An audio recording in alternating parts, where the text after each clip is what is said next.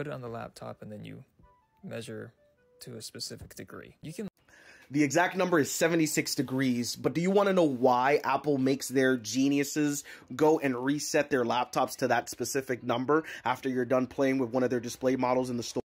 So next time that you walk into the Apple store, uh, pay very close attention what you physically, unconsciously will do when you walk up to one of their displays where they have their laptops.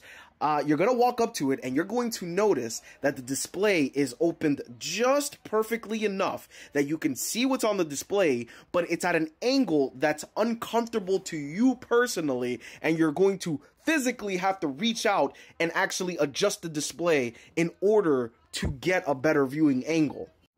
Now, the reason why this is important is because you are more likely to buy something after you physically touch it because it creates a sense of ownership.